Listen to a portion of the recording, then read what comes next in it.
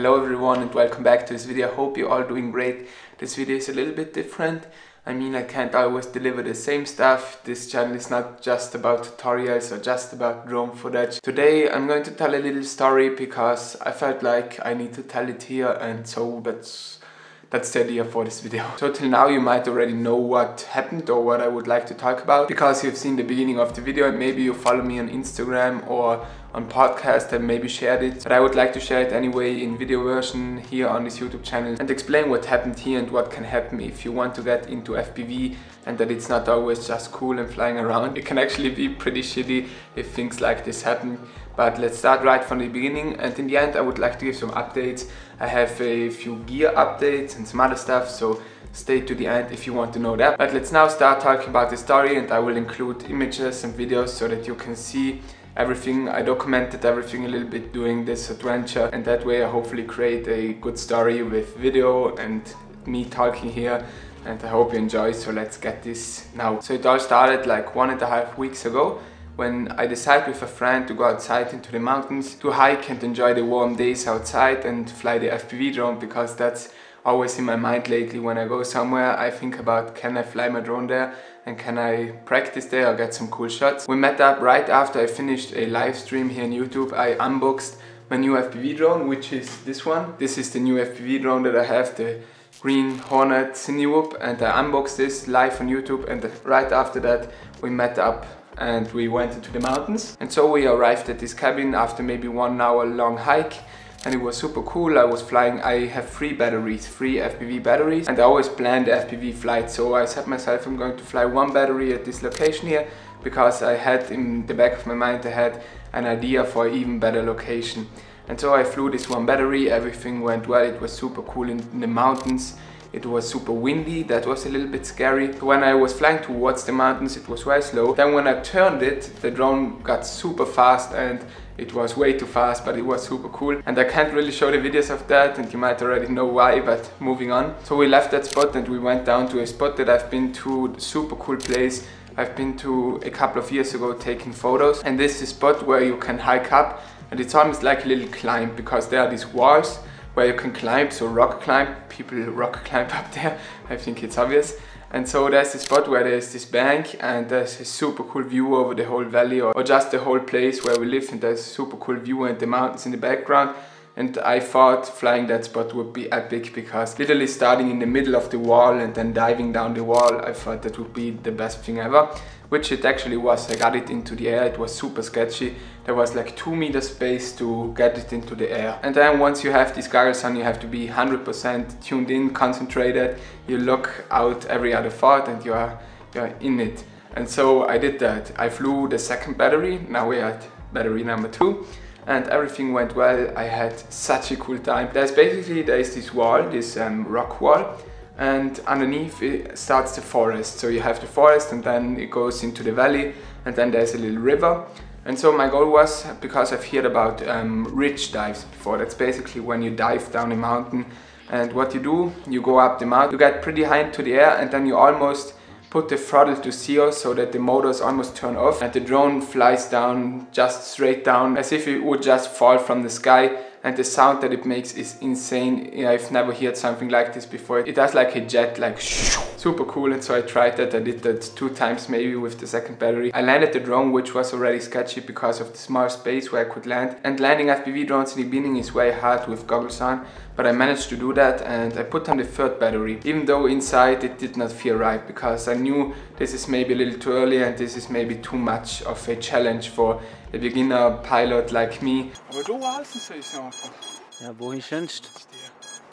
But I'm always more driven towards the risky side when it comes to stuff like this. And so I set myself just get it into the air and do it one more time because I wanted to get the even better dive down the mountain. And so I flew for maybe two, three minutes and then I flew towards the mountains, turned it, wanted to fly it down and then all of a sudden it flipped somehow over this wall. So you need to imagine it like this. There's this wall or this mountain and I always went above it down like this. And then all of a sudden it flipped somehow. And I still don't have any idea how that happened. It could have been maybe a strong wind that comes from the mountain. I don't know um, how it works, but maybe you know there's this and there's a very strong wind because as I've said before it was windy.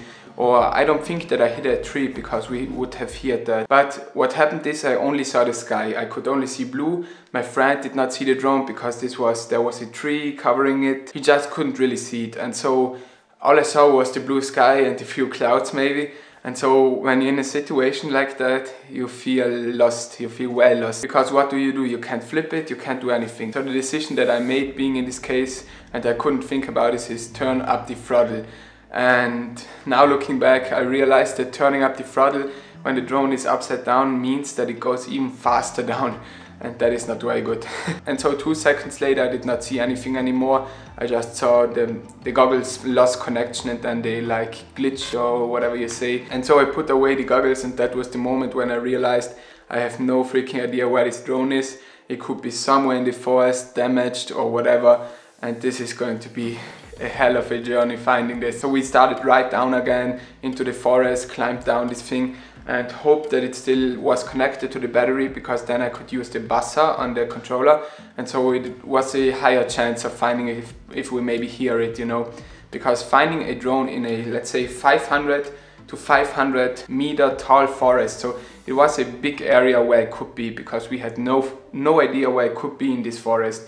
And so finding a drone in there, a black drone, is very very hard because it can also be hanging in a tree somewhere up there and we can see because it's covered. My only hopes always was the yellow battery, so I've actually brought a battery to show this. My only hopes was always this yellow color and so we searched for maybe one and a half hours, did not find anything. I went home without drone. Super sad because you know you come home without drone, it just doesn't feel right. And by the way, I should also mention the DJI Osmo Action was also on there, so I also lost that. You just don't feel good when you don't come home with any drone and any action cam.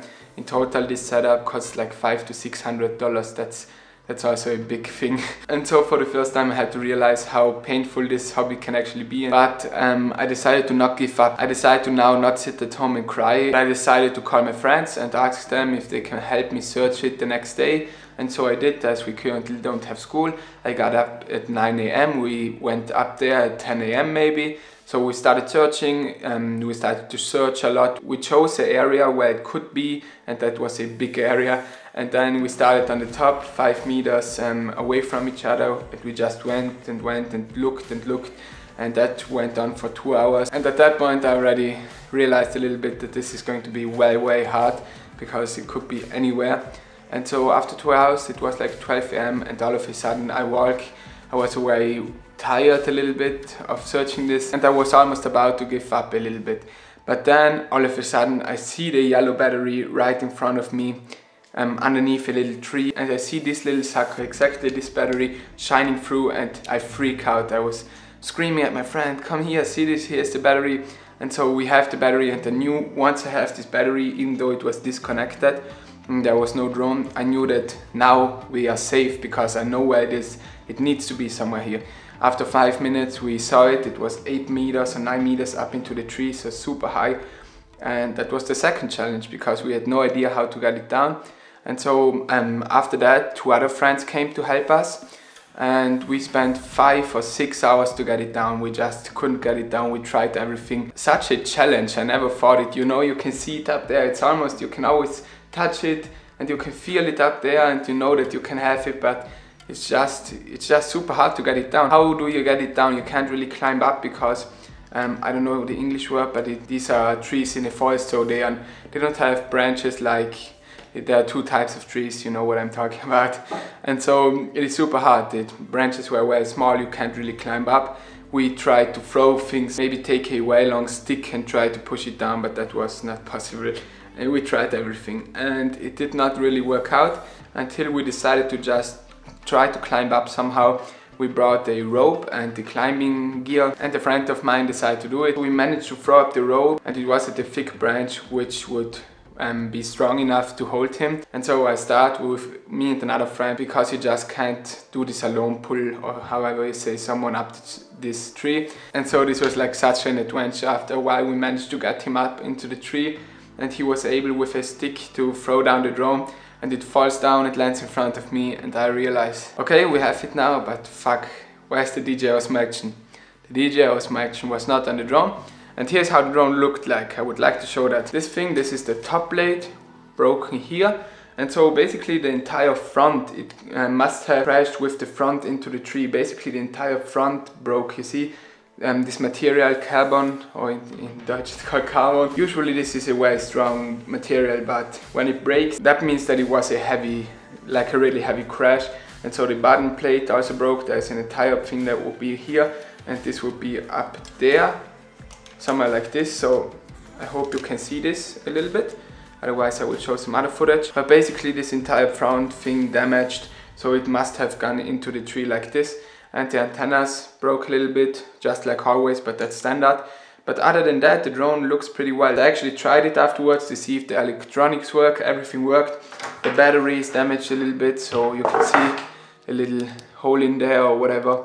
And other than that, pretty good actually for this crash because it must have been a heavy crash. And so I was super happy about everything and I'm still super happy and grateful that we found it because finding this was pure luck. Because if I had walked one meter above this or one meter on the other side I would never have seen this under this little tree and we would we wouldn't have found it that way. So we were super lucky with this whole adventure and I just think it was a cool time out there and now coming to the Osmo Action thing, mm, I did never really find it. I went up another two times to search it and I knew that it needs to be somewhere where the drone crashed. It needs to be somewhere where the battery was because if the battery falls down, probably the Osmo Action fell down at the same place. And so in that area up there, I know every single tree now, everything because I've been up there six hours maybe or so and just searching for the Osmo Action for one because I want my Osmo Action for two I want the footage for this video but that's not that big of a problem. We are going to go back. But yeah I never found it. And after these two or three times searching for it I just said myself spending another 10 times up there. Does not make sense. I just get frustrated that way and I better spend that time into making more videos and making better videos for this channel. And so I would like to end this little story by saying it was definitely a journey and adventure that I will never forget. You could get really frustrated with something like this if you don't find it, but we were lucky that we at least found the drone. But what I wanted to let you know is I think it's all part of this hobby and it's part of every hobby actually you know everything that you do in life whether it's skateboarding whether it's flying FPV drones or something else that you enjoy doing you cannot always enjoy it because if you would always only enjoy what you're doing it I don't think that it would be that funny because you know if you only have ups in whatever you're doing imagine you would start skateboarding and from the beginning on you would not fail a single time and hurt yourself. You would just land every single trick first try. It wouldn't be funny because it wouldn't be a challenge. I think it just you need a challenge sometimes and this was the perfect challenge for myself and for my friends. You know it can go really bad and you don't find it anymore but then you need to find the solution. Maybe if that happened, I would have built my own drone. I just think with whatever you do in life, you need to take it as it is and not think too much about it and not get frustrated by the bad things, but just always move forward. And I just think with everything that you do, the ups and the downs and everything, it's all part of it and it makes it funny. And if this only went well and if from the beginning on I would never crash it, I think it would be half, if not less of the fun that I had till now. So I can definitely look back at this story with a smile on my face and just with a lot of cool memories and that's what I want to share with you. Just go all in in what you like doing and just take everything as it is, whatever you do. So that's the story that I wanted to tell. I hope you found this interesting, I hope it could entertain you. I just want this YouTube channel to not only be the same topics all the time and not only be tutorials. So I believe that I will share more stories like this in the future, maybe in other forms through photos, podcast, whatever. I will come up with something. And now coming to the gear update. So as I've said before, I have my second FPV drone now which I got for cinematic slow shots. I've been flying this now for a little while. It's super cool. You can fly it through trees and do super cool stunts and stuff like that. This is more for the smooth shots. I haven't really put the camera on there because I don't have a camera anymore, I action cam. It is just super cool to fly through things and it's way different than the other drones. So that's the first gear update. Moving on to the second gear update.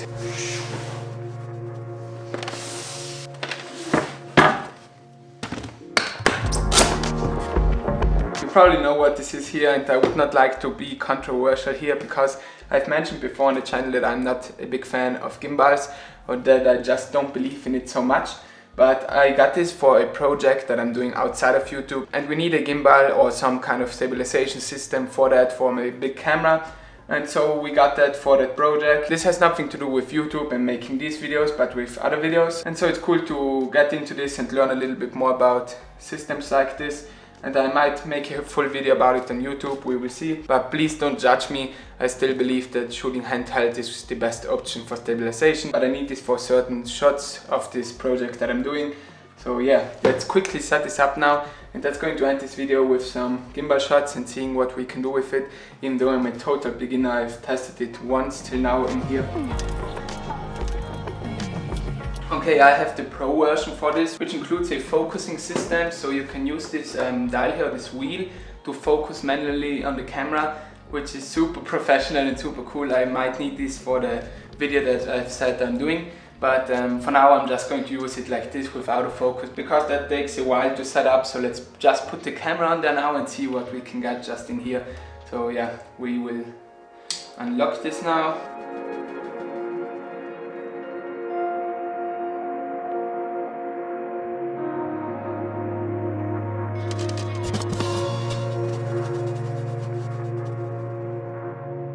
How does this look for vlogging? It's actually super heavy to hold it like this, but it should be as smooth as it gets. I still need to find the best settings. It's cool to use it. It's definitely cool. I don't know, it's just cool to see where I've come from one year ago maybe. I had one camera, one old camera body and one or two lenses. And now I'm able to use the newest and best gear to create my videos and it all comes from hard work and a lot of patience, but it was worth it all the way through. And now I would like to say thank you for watching this video. I hope you enjoyed it. I now need to put this down because it gets super heavy. But hopefully see you there in the next video. Goodbye. Thanks for watching. That was scary.